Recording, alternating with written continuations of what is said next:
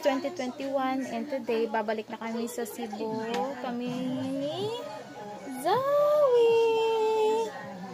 Ayan, habis na kami. Ready na yung mga gamit namin. Mag, babantay lang kami dun sa baba ng tricycle. Papuntang bayan. So, diretso na kami sa Iloilo after yan. So, we see you later. Bye!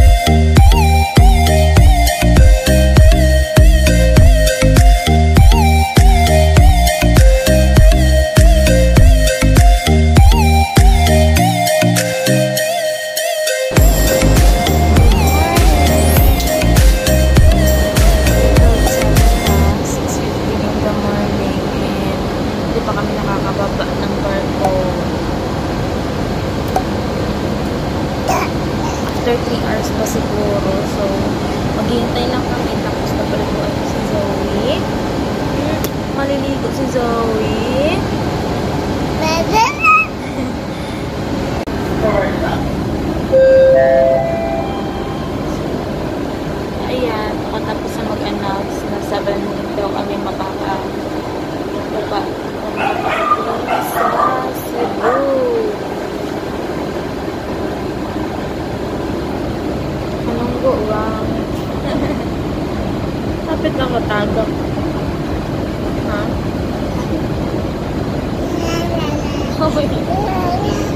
bapak kata babat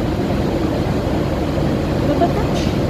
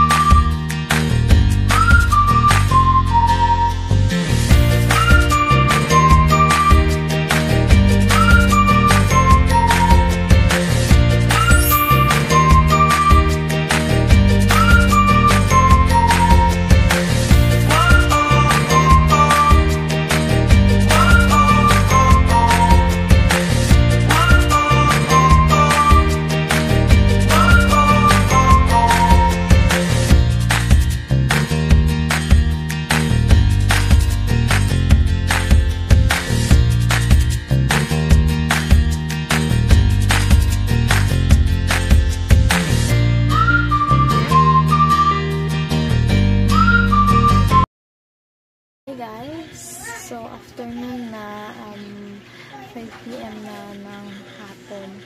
And, nakauwi kami dito sa bahay. Siguro mga 12 noon na rin. Um, nag-lunch na lang kami tapos kumain ko si Zoe tapos nagpahinga kami. Actually, hindi pa namin na iligpid yung mga gamit namin sa maleta. Siguro, tumuro na lang. Um, supposed to be Um, ang nangyari kasi, pagdating namin sa pier, is siguro mga 2 hours pa kami nagstay sa barko. Pa kami pinababa. to wait the shuttle bus. Tapos, nung sumakay na kami ng shuttle bus, um, hinatid kami doon sa um, station kung saan isa-swab yung mga um, arriving na mga pasahero. And hindi ko alam na requirements na pala ang swab test pagpasok dito sa Cebu City. If um, papasok kayo sa Cebu City you need to have a swab test. Pero pag for example um, yung pupuntahan nyo dito is Mandawi, it's okay, diretso na kayo labas, pauwi na kayo.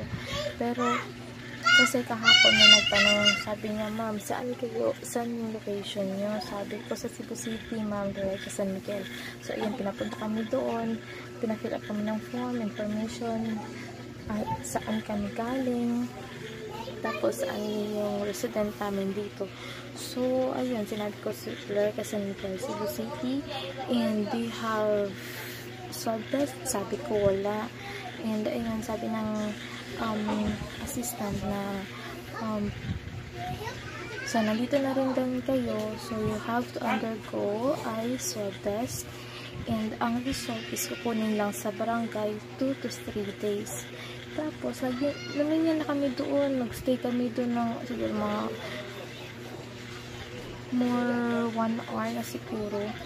Tapos, at the end, di kami nakapag-swap dahil abusan sila nung gagamitin nila. Um, binigyan lang lang kami ng endorsement para maswab kami doon sa Mambalin. Nakalimutan ko yung pangalan. Kasi nagbigay sila ng phone number. Tapos doon na lang kami daw magpapaswab test. And the same, 2 to 3 days din naman yung result. So sa barangay din namin kukunin ang result. So, by the way, ipaprocess pa namin yun. I will give you an update for that one. Um, So, siguro magpapahinga na lang muna kami.